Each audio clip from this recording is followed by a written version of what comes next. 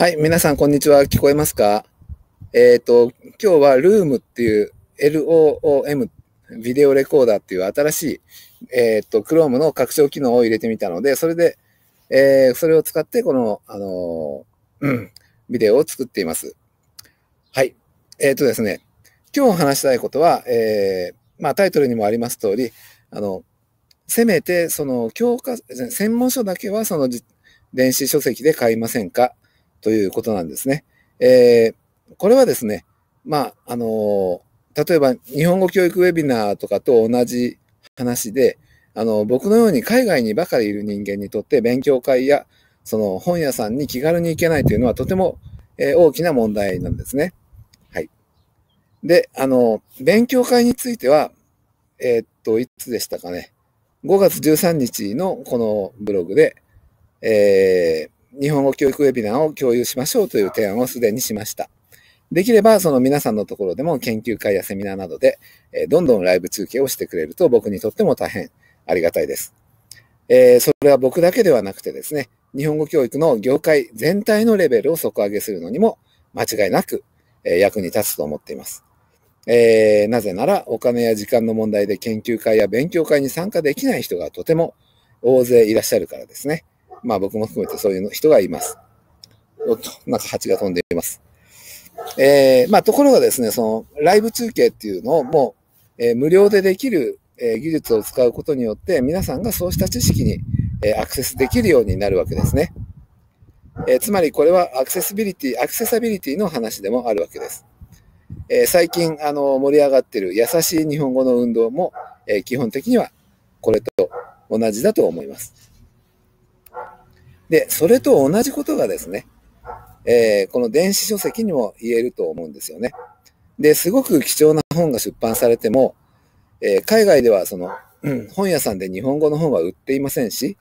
えー取り寄せることになると莫大な時間とお金がかかってしまいます。また僕のようにですね、えー引っ越しの多い人生を歩んでいますと、数年ごとにかかるあの転居時の荷物の運送料が無視できないためにですね、どうしても重い紙の本は気軽に購入することができません。買ったとしても、その引っ越しの時に手放すことを前提に買うようになってしまいます。で、この点を、えー解決してくれるのが、えー電子書籍なわけですね。えーまあ、これは僕のあのブログを電子書籍化したものの一つですけど、まあ、例えば、あの、アマゾンでもですね、その本の紹介、その商品紹介ページを見ていればですね、たった1クリック、1クリックだけでもう購入することができるわけです。えっ、と、まあ、また値段もですね、紙の本より、えー1割から2割ぐらい安いこともあります。中にはですね、5割ぐらい安い場合もあったりします。えーで、かつですね、あの、こういう、え1ヶ月980円の、えー Kindle Unlimited っていうのに入りますと、えーそのサービス対象の本ならもう無料で、えー読めるわけですね。ですので、もう実質的には、えー電子書籍を買うと何割も、えー安く本を読むことができます。あまあ、本をたくさん読む人にとってはですね、あまり読まない人にとってはそれほど変わりませんが、まあ、むしろ、あの、一冊も読まないのに毎月980円払っちゃったらちょっとお金もったいないですが、でも本をたくさん読む人にとっては、えー電子書籍で本を読むというのは懐にも、えーお財布にも非常に優しいということが言えるんじゃないかと思います。えーっとですね、またですね、あの、うん。時々ですね、えーあの、電子書籍を読むためには、その、専用端末、あ、ちょっと今持ってくの忘れちゃいましたけど、えーその読むための専用の機械が必要だというふうに誤解している人がいらっしゃいますけど、えー実はそのスマートフォンとかタブレットとかですね、あるいはパソコンでも、えーアプリを入れさえすれば読むことができます。まあ、あの古いタイプのパソコンでは読めない場合もありますが、あの最近の新しいパソコンでしたら読めます。で、まあ、このようにですね、えーまあ、前からずっと言ってますように、その、うんえー電子書籍の出版をもっと増やしてほしいなというふうに僕は思っているんですが、ただその、ライブ中継を増やしてほしいとですね、僕が皆さんにお願いしているのとは、ちょっと必要なアプローチが、えー、違うような気がしてるんです。えー、なんでかっていうとですね、その、日本語教育関係の勉強会とか研究会でしたら、その主催者の方に、ライブ中継してくださいっていうふうにお願いすれば、まあ、最近は無料でできることもありますし、特に問題なく了承してくれると思うんですね。しかし、その、電子書籍の場合は、あの、学会などではなくて、その企業にお願いすることになるわけですよね。で、えー、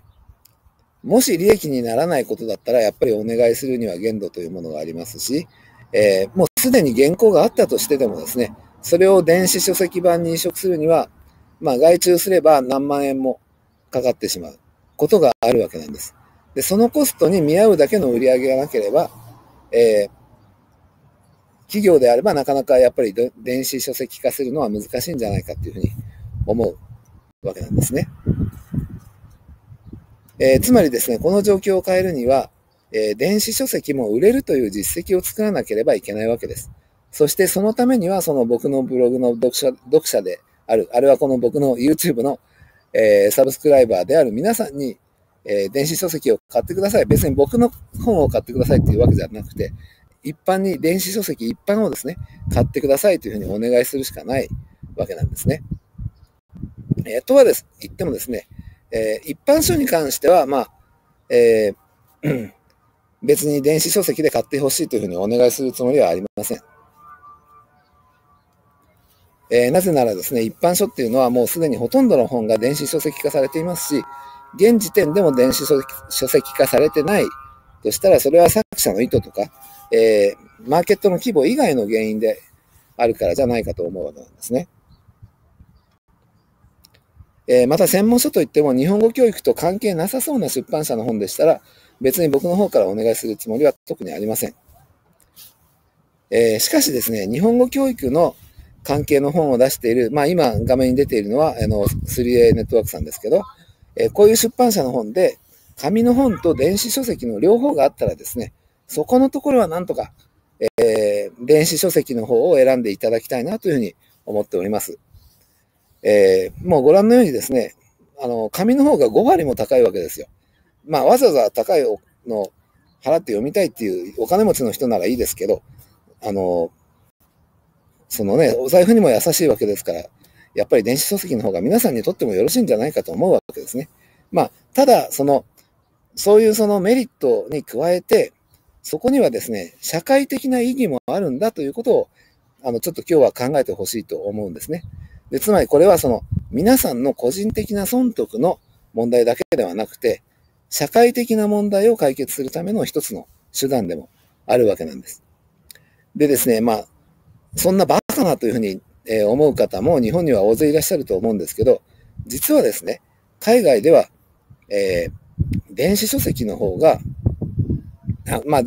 日本よりもですね、海外の方が電子書籍はずっと普及しているんですね。で例えば、その、アマゾンにおける、えー、紙の本と電子書籍の市場の、市場占有率はですね、もう7年も前の2011年の段階に、えー、逆転してしまっているんです。まあこれはあくまでもアマアマゾンの中だけの話で、出版市場全体の話ではないんですけどね。えー、でも実際にですね、ハンガリーとかカナダで、えー、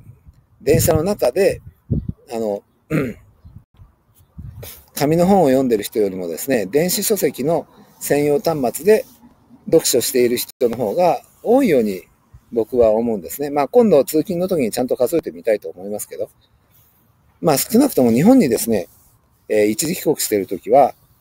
えー、公共交通機関の中で Kindle のあの専用端末などを見かけることがほとんどなかったので、それは非常に、えー、驚いたという、え記憶があります。もちろんですね、え日本にはその人口あたりの、え書店の数がアメリカに比べて非常に多いというような、え理由がありますから、電子書籍で読まない人のことを特に遅れているとかですね、え批判するつもりはありません。え僕が言いたいのは、日本で想像するよりも、え電子書籍を購入することは社会貢献になるんだっていうことなんです。で、その理由はですね、電子書籍での出版が増えると、海外、あるいは地方でそれを読める人が増えるからで、その人数は多分日本でえ、想像するよりもずっと多いだろうということを、あの、皆さんに知ってほしいなと思っております。はい、えー、本日はこちらまでですね。えー、それから、えー、っと、ここから先はおすすめなん、あ、おすすめじゃない、すみません、お知らせなんですが、えー、っとですね、今日本はその、えー、外国の方が非常に増えていて、しかしその、え、その指定に対する日本語教育というのが非常に遅れています。で、本当は、え、政府が公費で行うべきだとは思うんですけど、今は、え、その NPO 法人などの力に頼るしかないのが現状なわけですね。それで僕はですね、こういうあの遠隔授業で、えー、そうしたその日本語の話せない、えー、子供たちを支援しているニコプロジェクトというのを、えー、応援しています。支援しています。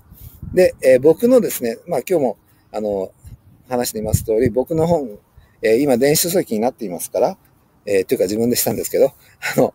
えー、これをですね、あの、ご購入、2018年中にご購入いただけると、えー、その、えっ、と、利益ですね。その利益は全額がですね、先ほどの、えー、ニコプロジェクトに、えー、寄付、寄贈されることになっております。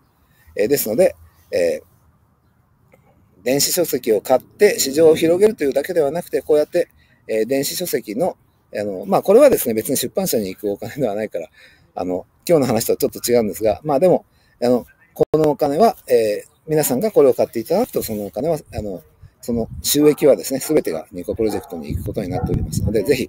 えー、ご購入していただければと思っております。はい。えー、僕からは今日はこれで、えー、以上です。はい。えー、ご視聴くださいましてどうもありがとうございました。どうやって止めるのかわかんない。